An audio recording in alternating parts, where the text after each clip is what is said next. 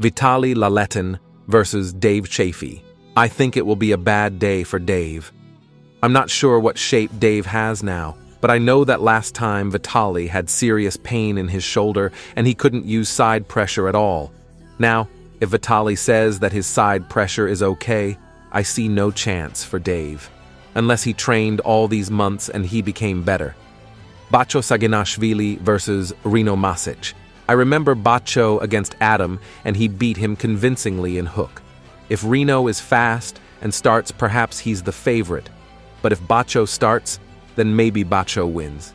Matt Mask versus Derek Smith. It's difficult to say. 50 50. Tobias Sporrong versus Wagner Bortolato. I'm not sure that Wagner feels comfortable against top rollers, and Tobias is a good top roller. I remember Tobias beating Prudnik very convincingly. Vitaly said that when he faced Tobias, he felt that his hand was very strong. Wagner has chances with his press, but I would bet on Tobias if he is in good shape. Lachlan Adair versus David Arabuli. I think it will be an equal match. Perhaps there are a little more chances for Arabuli, but rather close match.